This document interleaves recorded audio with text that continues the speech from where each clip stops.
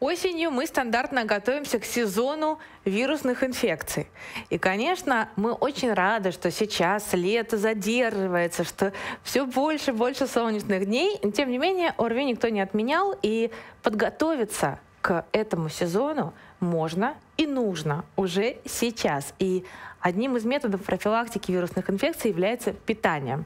Мы все слышали про лук, про чеснок, а, про гвоздику даже.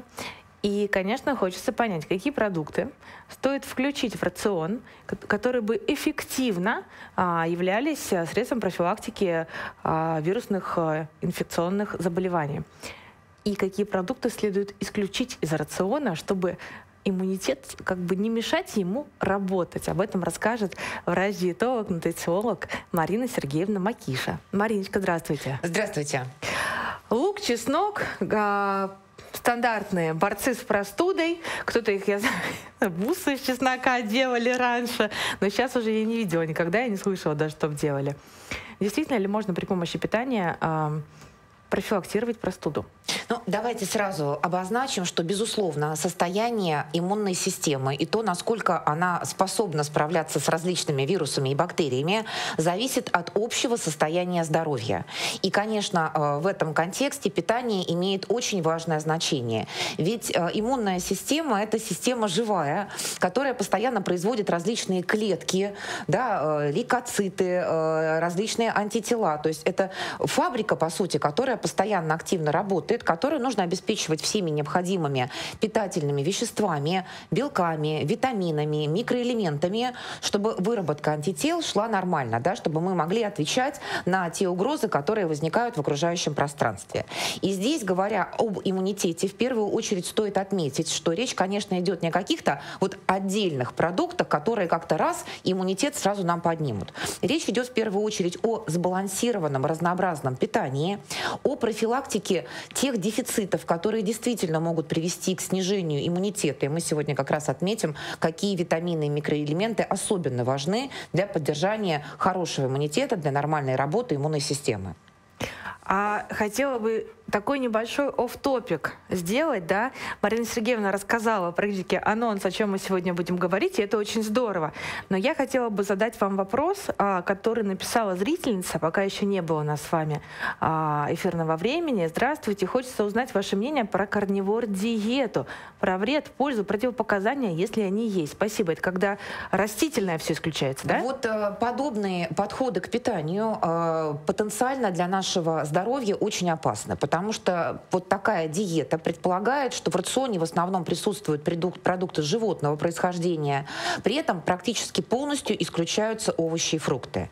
И, конечно, для кишечника такая диета э, имеет негативные последствия, ведь для нормальной работы кишечника в первую очередь нужна клетчатка, нужны пищевые волокна, нужна клетчатка в том числе растворимая, которой питаются полезные бактерии, обитающие в кишечнике. И я думаю, что многие уже знают, что именно от состояния состоянии кишечника во многом зависит состояние нашего иммунитета. И поэтому любые диетические программы, которые предполагают жесткое ограничение каких-либо продуктов питания, э, уменьшение, э, ну, слишком сильное уменьшение калорийности рациона, но и вот тем более такие подходы, исключающие полностью практически овощи и фрукты, могут навредить кишечнику, а значит и снизить иммунитет наш иммунитет живет в, в кишечнике, есть такое утверждение. Это так? То есть нам нужно в первую очередь заботиться о микробиоме? Ну, не только, конечно, кишечник определяет состояние иммунной системы, но, как показали исследования последних лет, действительно, в зависимости от того, какой баланс кишечной микрофлоры мы наблюдаем по факту, это может влиять на то, насколько активно иммунная система отвечает на различные угрозы, но, в частности, э, выработка антител и различных противовоспалительных факторов с этим напрямую связаны.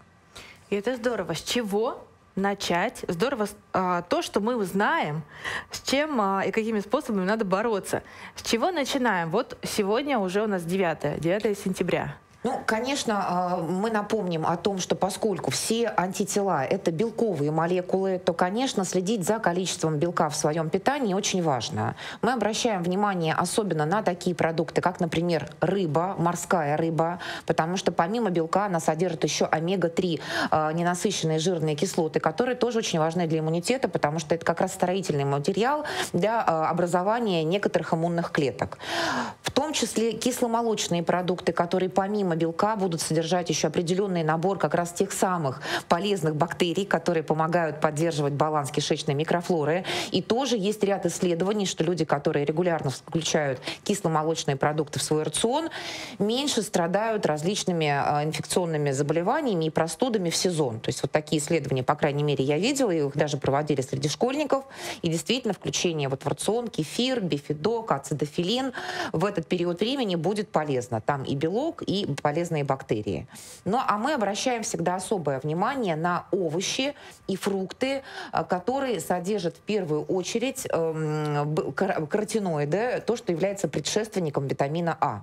Потому что вот витамин А, он очень важен для работы иммунной системы, он стимулирует выработку клеток иммунной системы, и кроме того, он очень важен для восстановления э, слизистой оболочки, клеток слизистых. А как раз слизистая это барьер, по сути, да, вот мы контактируем где бактерии, вирусы, это же в воздухе в основном присутствуют. И вот состояние слизистых это тоже важный фактор для того, чтобы барьерные функции, которые выполняют они, чтобы они выполнялись нормально, да, чтобы бактерии и вирусы не проникали в наш организм. Кроме э, витамина А, я напомню о том, что дефицит витамина D тоже достаточно часто ассоциируется с более м, частыми случаями различных заболеваний инфекционных да, и поэтому вот витамин D, а точнее продукты, которые его содержат, а это в основном как раз жирная морская рыба, о которой мы уже сегодня говорили, тоже в свой рацион э, нужно добавлять регулярно. Вообще есть такая рекомендация, что в течение недели важно съедать 300-400 граммов жирной морской рыбы, и из нее как раз мы будем получать и омега-3, и витамин D, которые необходимы для нашего иммунитета. Никакие БАДы тогда по а, поводу омеги-3 нам не нужны, получается? Да, в принципе, мы можем абсолютно спокойно получать необходимое количество омега-3 из э, обычных продуктов. И учитывая, что у нас э, есть возможность приобретать их в магазине, да, и сельдь, и скумбрия, и печень трески, все это нам подходит как раз как источник омега-3 и витамина D. Знаете, интересную фразу вы сказали. А, для пытливого ума, да, очень важно понимать, как что работает, для того, чтобы рекомендации доходили прям а, в глубину, скажем так, до самого сердечка. А, вы сказали, что антитела — это белковые молекулы. Антитела, да, то есть а, когда человек переболел, например, гриппом, у него есть антитела к гриппу, да, то есть это клетки, которые его победили. Получается так? И для того, чтобы они формировались, нам нужен белок, чтобы у нас постоянно да. эти защитные штучки формировались. Конечно, важно, именно поэтому вот такие э, неправильные подходы к питанию, которые очень часто ограничивают прием белковых продуктов, э, всегда повышается риск того, что иммунная система начнет давать сбои. И вот опять же, если мы посмотрим с вами на историю, то как раз э, нехватка белка в питании очень часто ассоциировалась со слабым иммунитетом. Да? Вот в те голодные времена времена, когда еще э, у нас не было возможности получать продукты в магазине в таком количестве, вот одной из причин э, плохого иммунитета была как раз нехватка белка в питании. И более того, как показали исследования, э, иммунитет очень, и его состояние очень тесно связанное с присутствием в организме цинка. И люди, у которых наблюдается дефицит цинка, чаще страдают инфекционными заболеваниями. Это уже научно подтвержденный факт. И вот как раз цинк — это тот микроэлемент, элемент, который содержится в том числе в продуктах животного происхождения. Ну, например, курица, индейка – это хорошие источники цинка. Кроме этого, мы можем э, выбирать, например, цельнозерновые крупы, в которых тоже будет присутствовать определенное количество цинка, и э, отруби. Вот отруби тоже хороший источник цинка. Поэтому люди, которые включают в свой рацион регулярно, например, индейку там, или курицу, они, в принципе, получают достаточное количество цинка. Давайте пройдемся теперь по конкретным продуктам. А, витамин С. Это наши апельсины замечательные, мандарины. Сейчас будет сезон цитрусовых. Достаточно ли а, витамина С в апельсинах и мандаринах для того, чтобы восполнить а, этот витамин и который бы стал на защиту нашего иммунитета. Ну, я напомню э, в первую очередь о том, что витамин С является очень важным кофактором, то есть участников процессов деления клеток. Да? И вот как раз для того, чтобы клетки делились, образовывались антитела и другие агенты нашей иммунной системы, витамин С действительно нам необходим. Кроме того, он является достаточно мощным антиоксидантом, и поэтому получать в питании его необходимо регулярно. И, кстати, не только цитрусовые являются хорошим источником витамина С. Э, превосходят по содержанию э, эти продукты, например, черная смородина, облепиха, клюква. Но самый простой вариант, который я предлагаю, это болгарский перец, который можно купить в магазине в любое время года. И, в принципе, одного болгарского перца достаточно для того, чтобы вы полностью закрыли потребность в витамине э, С суточную. Или, например, съесть один киви. Поэтому вот здесь... Э, 200% суточная норма да, в 100 граммах да. киви, я знаю, витамина С. Да, поэтому продукты э, разные. Квашеная капуста, опять же, вот в сезон скоро начнется, это поэтому из тех заготовок, которые будут полезно для иммунитета, вот квашеная капуста стоит, э, стоит эту заготовку все-таки сделать, потому Аж что... есть захотелось. Вот. Ну, помимо того, что там э, будут и клетчатка, которая нужна для работы кишечника, и витамин С, там будут еще те самые полезные бактерии, которые тоже будут помогать нам поддерживать хороший иммунитет. Марина Сергеевна, у нас есть звонок от нашей зрительницы Зинаида. Здравствуйте, вы в прямом эфире. А, добрый день. Добрый. Здравствуйте. it. Здравствуйте, я постоянный слушатель ваш. И вот я как-то слушала передачу а, про яйца. И я тоже начала эти яйца, чтобы э, желток был жид, жидкий. А вот сальмонеллез э, как не получится, не приобретется с этими жидкими желтками? Значит, э, сальмонеллез возникает не из-за того, жидкий желток или мы сварили яйцо вкрутую. Бактерия располагается на поверхности яйца. И самая большая большая проблема бывает именно в том, что если яйца были, ну, не прошли соответствующий контроль, и сальмонелла могла, могла оказаться на поверхности, то есть на скорлупе. Поэтому мы напоминаем о том, что яйца, которые вы покупаете, лучше все-таки хорошо термически обрабатывать, да, самое главное, не пить их сырыми, потому что когда их пьют сырыми, то вот обычно а, прокалывают яйцо, и, собственно говоря, вот эта скорлупа, ну, и с, с нее мы получаем сальмонеллу. Вот, поэтому вот э, состояние желтка, оно не, не так важно, э, сколько насколько важно, чтобы, в принципе, лучше покупать яйца в магазинах, там, где они проходят соответствующую проверку. Обычно а, сальмонеллез — это вот э, бывают ситуации, когда это дикие какие-то, ну, прям утки или что-то такое, вот люди тоже находят эти яйца. Но вспышки сальмонеллеза у нас встречаются редко уже в настоящее время. Да, и еще а, я поняла, о каком эфире идет речь. Вы слышали врач-инфекционист рассказывал, что когда яйца хранятся очень долго, а больше 28 дней, по-моему, их нельзя хранить, то сальмонеллез, если он там есть, со скорлупы уже впитываться начинает. Поэтому вот срок хранения продуктов, это же тоже очень важно. Да, да. Всегда нужно лучше, обращать лучше внимание, да, когда вы покупаете. Но мы всегда выступаем за то, чтобы покупать э, такие продукты в понятных местах, где, по крайней мере, на них есть документы. И если, не дай бог, произойдет какая-то ситуация, можно было бы, по крайней мере, отследить. Да, и вот тоже, кстати, из таких наблюдений, которые мы проводили в практике и делали соответствующие исследования, что яйца в магазине, там, где они являются ходовым продуктом, всегда бывают более свежими, чем Кстати. яйца на рынке. Потому что яйца на рынке рынки дорогие, их там покупают реже. И когда вот мы делали контрольные закупки, оказалось, что яйца на рынке бывают с гораздо большим сроком э, вот, нахождения Л- на прилавке, уже, да. Да, чем яйца, которые люди покупают в магазине. Марина Я беру в магазине. Я тоже. Ну, и ты идешь по полкам. А, кстати, да, яйца нужны. Ты же не целенаправленно приезжаешь в магазин именно за яйцами. Очень часто это идет как в довесок. А, Марина Сергеевна, вопрос. Во время пандемии ковида кто помнит, напишите, кто не помнит. А, мы расскажем. 4 тысячи рублей за килограмм. Как вы думаете, что это стоило? Нет, это я не знаю, икра. И знаю. это был? Это был имбирь, конечно. Почему? Да. Ну, э, есть традиционное представление о том, что имбирь э, — это такой фактор, который помогает иммунной системе работать хорошо и как-то может нам помочь как раз в том, чтобы противостоять различным вирусам и бактериям. Где здесь правда? Э, имбирь сам по себе является достаточно хорошим продуктом, с точки зрения содержания антиоксидантов, с точки зрения содержания витамина С.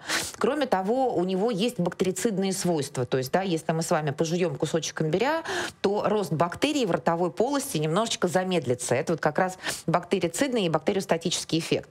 Но говорить о том, что если мы пойдем сейчас пить с вами чай с имбирем, э, и при этом не будем вообще следить за своим питанием, не будем э, с вами гулять на свежем воздухе, и как-то иммунитету это поможет, было бы, конечно, ложью. Да, то есть один какой-то продукт питания нам в том, чтобы поддержать иммунную систему в хорошем состоянии, не поможет.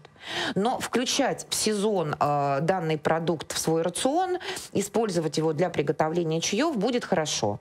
Вот потому что благодаря таким своим эффектам он все-таки будет помогать нам, ну, по крайней мере, э, поддерживать в хорошем состоянии свою иммунную систему в комплексе с другими э, полезными веществами, витаминами и микроэлементами. К счастью, он не стоит сейчас 4000 рублей за килограмм, как стоил во время пандемии. Кто-то кто один сказал, что это помогает коронавируса, и все, просто цены взлетели. Ну вот я тут приведу тоже данные исследования, поскольку когда был ковид, очень активно исследовались и различные добавки, э, их влияние на э, иммунитет, и смогут ли они реально э, помочь предотвратить инфекцию. Так вот, то, что мы с вами говорили про цинк. Вот в этот период, помимо продаж имбиря, очень сильно выросли продажи добавок с цинком, но, как оказалось, вот дефицит цинка иммунитет снижает, а дополнительный прием добавок с цинком э, никак не влияет на риски развития инфекционных заболеваний. Поэтому мы как раз говорим о том, что нам важнее сбалансированное питание, чем прием каких-то добавок. Кстати, то же самое касается витамина С. Вот э, поддерживать э, в питании необходимое количество С ежедневно. Это важно для хорошего иммунитета. Но дополнительный прием аптечных препаратов витамина С в профилактике инфекционных заболеваний не помогает. Помогает только в период болезни где-то на 2-3 дня сократить продолжительность болезни и немножечко снизить э, выраженность симптомов. Да, поэтому вот мы ратуем за то, что питание должно быть разнообразным, сбалансированным, и что лучше витамины и микроэлементы получать брать из натуральных продуктов все-таки, потому что так они лучше усваиваются. А вот синтетические витамины э, не всегда работают так же, как витамины, которые мы получаем из обычных продуктов питания. Я хочу вам рассказать свой опыт, друзья. Если у вас, э, э, если э, вы видите наш QR-код на экране, обязательно напишите э, в наш телеграм-канал. Напишите свой опыт, какие продукты вы употребляете для профилактики либо для лечения простуды и гриппа. А, я точно помню, что когда заложен нос, я, кстати, практически никогда не пользуюсь каплями, ну вот сосудослушивающими уже очень много лет. А, когда заложен нос, есть очень такой интересный способ. Горчица с сосисками пробивает просто моментально. Или хрен, это же тоже вот эти вот острые продукты во время простуды, они полезны или они наоборот там где-то лечат, где-то калечат? Ну, э, в первую очередь такой эффект пробивающий связан с тем, что э, в составе подобных продуктов есть вещества, которые обладают раздражающим действием и усиливают микроциркуляцию ну, в зоне, да, то есть в области слизистых. Вот, поэтому нам кажется, что у нас как-то прям вот пробило. Но э, обращаю внимание, что тоже с такими продуктами нужно быть аккуратнее, потому потому что, с одной стороны, вот этот благотворный эффект э, может, э, наоборот, стать неблагоприятным, если, как некоторые, там, кто-то себе лук в нос закапывает для профилактики. То есть, таким образом, то есть в большой дозе это может только навредить слизистым. А вот в умеренном количестве, да, действительно, и горчица, и хрен являются хорошими тоже такими ну, продуктами для профилактики разных заболеваний, поскольку у них тоже есть такой вот бактерицидный и бактериостатический эффект. Ну и, конечно, про лук и чеснок, про которые все помнят в период простуды. Но что здесь интересно, что вот те самые фитонциды, которые, по сути, являются природными, натуральными антибиотиками, они тоже замедляют э, размножение различных бактерий на слизистых. Э, их можно, и, и мы их получаем не когда мы едим этот продукт, а когда мы вдыхаем запах. И поэтому достаточно порезать лук или чеснок вот мелко. Прорыдаться да? от души. И именно подышать да. вот, вот, этими, вот этими продуктами для того, чтобы получить эффект. То есть даже не обязательно их вот прям непосредственно есть. А я наоборот, я когда режу лук, а, чеснок э, давно не резала, но не было, кстати, у меня такого никогда на чеснок, чтобы глаза так сильно слезились. Когда я режу лук, я нож под холодной водой, значит, сначала споласкиваю и э, какой-то момент э, это перестает работать, снова водичка холодная, и снова нарезаешь лук. И вообще ни, никакой рези. А в этот момент есть какой-то полезный эффект или нет? Ну, я думаю, что в первую очередь, конечно, это зависит не от того, смочено наш нож водой или нет, а от качества самого продукта. Вот бывают действительно лук и чеснок вот ядреный, да, вот да. порезал ты луковицу, и вот стоишь и рыдаешь. И бывает, что вроде порезал, и никакого эффекта. Ну, то есть это зависит уже непосредственно от сорта, от э, условий, где выращивался продукт, то есть сколько там будет содержаться этих полезных веществ. А вы не знаете случайно, вот этот старый э, способ, когда э, при простуде, да, мы сегодня говорим про профилактики простуды, мне очень интересно, не совсем про диетологию, тем не менее, дышать над картошкой. А почему именно над картошкой? Ну, наверное, потому что раньше вот просто над кипятком дышать же не будешь, да, это не так удобно, а самый простой продукт, который был в каждом доме, это картошка. Вот, поэтому, конечно, ждать, что картошка какие-то там полезные вещества выделяет, которые помогают нашему иммунитету, это неправда, но это просто вот удобная форма, когда люди дышали над каким-то вот продуктом, который действительно постепенно отдавая пар, ну, немножко прогревает слизистое, тоже улучшает микроциркуляцию, вот, и обладает таким, ну, физическим физиотерапевтическим эффектом. Над чем еще подышать? Так, если... А почему над кипятком не подышать? Ну, мне кажется, что над кипятком это Быстро выдохнет. Вот, да, и не очень удобно. Картофель все-таки постепенно будет отдавать температуру, да, да и поэтому... А что вы думаете по поводу э, витамина С именно во время простуды, усиленных доз? Э, я читала исследования, что сокращает, ну это там очень огромные дозы витамина С сокращают длительность болезни на один день. Ну вот мы уже обозначили, что да, прием, именно прием дополнительно витамина С в виде добавок, ну или, соответственно, усиление э, его в рационе благодаря продуктам может помочь э, в течение заболевания и сократить продолжительность, там вот по разным исследованиям, от одного даже до трех дней. Но конские дозы пить самостоятельно не нужно. Ни в коем случае э, не нужно пить конские дозы никаких добавок, потому что это может вызвать э, неблагоприятные эффекты, в том числе оказать негативное воздействие и на печень, но и на, на состояние организма. Да? Лекарство или яд, все зависит от дозы. И поэтому вот э, использование каких-то добавок в больших дозировках вот на сегодняшний день мы рассматриваем как э, ситуацию, которая может, наоборот, угрожать здоровью. К нам дозвонилась наша зрительница Светлана. Здравствуйте. Здравствуйте. Вы в прямом эфире. Откуда вы нам звоните? Э, я звоню из Дубны, Московская область. Очень приятно. Какой у вас вопрос? Э, у меня такой вопрос. Я купила биологически активную добавку, э, значит, D3 2000 плюс К2. Угу. а, плюс, ну да, Э, значит, и вот сейчас я без назначения врача как бы решила это принимать. Ну вот я несколько капсул пропила, вот такое ощущение, как будто как-то вот силы прибавились. Вот э, хотела бы задать такой вопрос.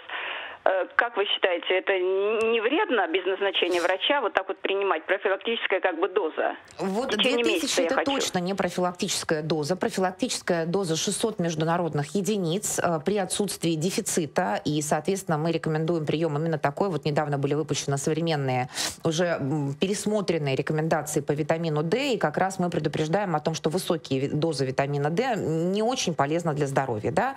Если вы хотите пить для профилактики, то достаточно 600 международных единиц э, в течение дня. Да? Соответственно, если у вас вот прям сама капсула на 2000, то это по сути на 3 дня. Да? То есть вам тогда нужно пить ее один раз в 3 дня. Вот. Но для того, чтобы мы могли определить правильную дозировку, э, все-таки ну, есть определенные рекомендации по тому, кому нужно сдавать анализы. Да, и если есть дефицит витамина D, то, конечно, тогда у нас немножечко другая дозировка будет уже для коррекции. Но вот в целях профилактики 2000 это однозначно очень много. Столько не нужно. Вот. Одна таблетка вам в таком случае на три дня. А почему вы купили эти витамины? Что вы хотите профилактировать?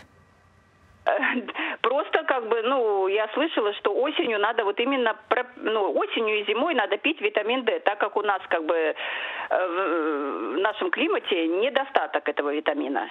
Ну, профилактический прием где-то с конца октября по конец апреля действительно, ну, по крайней мере, мы рекомендуем. То есть есть вот э, некоторые, кто считает, что можно не пить витамин D, но поскольку мы живем в регионе, где действительно солнца мало, и если тем более вы не едите регулярно морскую рыбу жирную, да, то лучше вот все-таки пить э, дополнительно витамин D. Но морская рыба, это же не обязательно лосось, форель, кита, это же могут быть сельдь, да? А мы как раз про эти виды рыб в первую очередь и говорим. Сельдь, скумбрия, э, то, что нам хорошо знакомо, потому что это, во-первых, рыба дикая.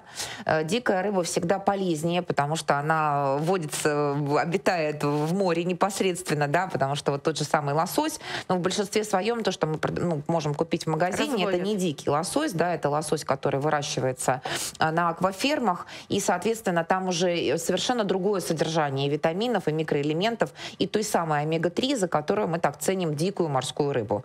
Поэтому вот простые виды, там, сельдь, скумбрия, сардина, прекрасные варианты, прекрасный источник необходимых витаминов и микроэлементов. Селедка под шубой. Ну, я, я, я рекомендую просто тогда уже просто селедку со свеклой, вот, чтобы майонеза много не добавлять в этот салат.